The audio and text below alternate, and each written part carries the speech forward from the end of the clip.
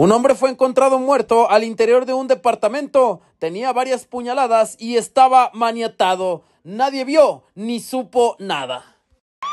Guardia Nocturna.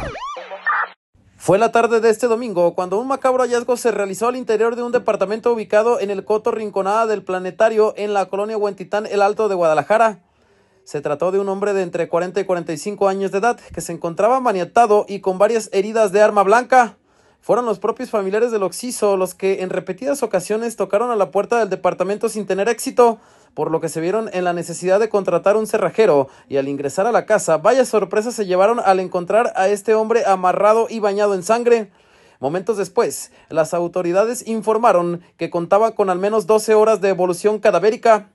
Hasta el sitio acudieron elementos del ejército mexicano y policías tapatíos que comenzaron con las indagatorias. Sin embargo, no hubo testigos que pudieran proporcionar más datos o características de él o los causantes.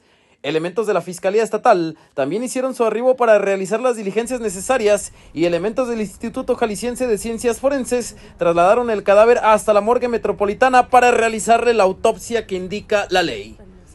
Informó Quetzal Vargas. Guardia Nocturna.